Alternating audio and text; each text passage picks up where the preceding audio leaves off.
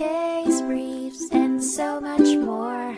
LS Data's got what you're looking for.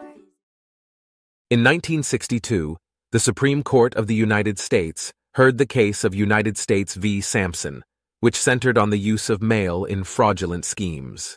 A group of individuals were accused of scamming victims by making false promises to help them obtain loans or sell their businesses in exchange for an advance fee. Once the money was received, the scammers would convert it to cashier's checks and send an acceptance letter and form to lull the victims into thinking that the promised services would still be provided.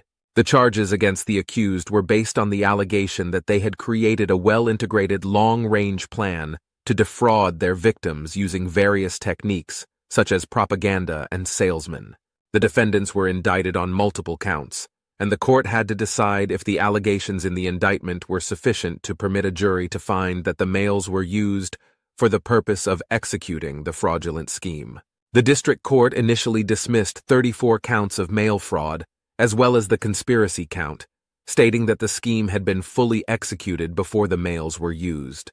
However, the Supreme Court reversed this decision, finding that the use of mail was an integral part of the fraudulent scheme and had occurred in pursuance of a previously formulated plan.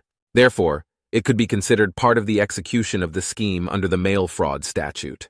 As a result, the Supreme Court reinstated the 34 dismissed counts of mail fraud and ruled that the conspiracy count should not have been dismissed.